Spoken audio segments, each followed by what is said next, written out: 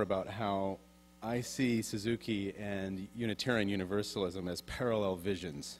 I found at least eight things they have in common. Number one, they're both egalitarian. They believe in the equal worth and dignity of every person. Number two, they're both communitarian. They, they both see the community as a source of identity and as a locus for growth. Number three, they are both universalist. They see the potential in everyone, regardless of race or age or background or belief. Number four, they are both creative. They believe in artistic expression, regardless of background, and they want to see people, and especially children, discover themselves as creative agents.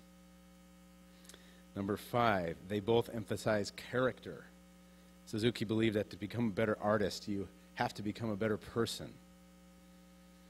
Number six, they're both integrative. I like to say that playing violin is like trying to put together a 500 piece jigsaw puzzle. There are many things that must all come together in the right way. And in the same way, if you look around the room here, you'll see the same jigsaw puzzle effect. We tend to like to put together and to synthesize complex parts and complex ideas and complex people. Number seven, they both affirm life. I see Khan, or life force, everywhere I look now, but especially in the faces of my students and in their music. That's why I teach.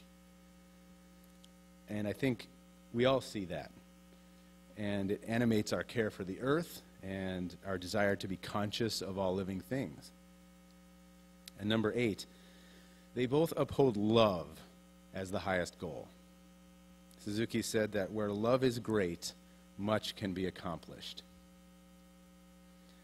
What a privilege to be a part of this philosophy, this way of looking at the world, this way of recasting what children are capable of.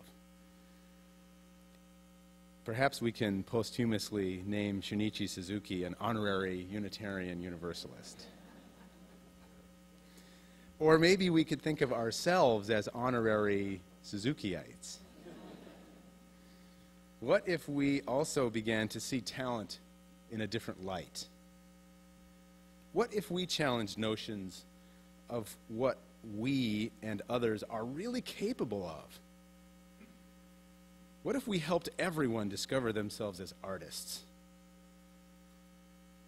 What if we challenged everyone, and I mean everyone, smallest children to oldest adults included, to engage in a quest for beauty? And to do so within a community of other diverse people. Think of the power that music has to transcend race and gender and ideology and background and even religion. What kind of boundaries could we bring down if we brought this simple method into more people's lives? What social issues could we begin to address in a different way than we ever have before if we could bring everyone's children together in the way that you've just seen here around a common musical language and a common pursuit of character? What if music really is the key to solving our world's most pressing problems? Suzuki said, I think that people who love art and those who teach art and all of you should burn with the obligation to save the world. He truly believed that if we had more children learning the violin, we could save the world. And so the reason I wanted to share this message with you today was not that you sign up for violin lessons, although I would celebrate if you did, but because I believe that this method and this philosophy is capable of transforming people at a very deep level and even saving the world.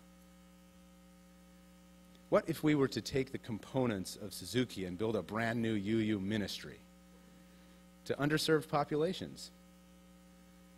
It's kind of mind bending to think how we would do that. But just ask do we really believe in the transformational power of art?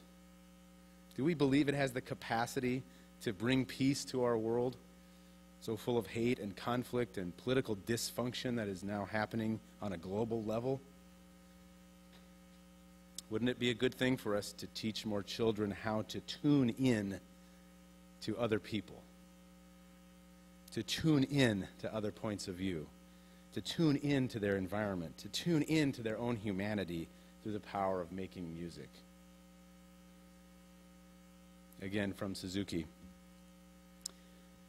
Music, tone, what remarkable power it has. Humans do not live through wisdom, they live within the magnificent workings of life. Sound breathes life. Without form, it lives. In closing, we're going to let the music now speak for itself, letting this sound breathe life without form.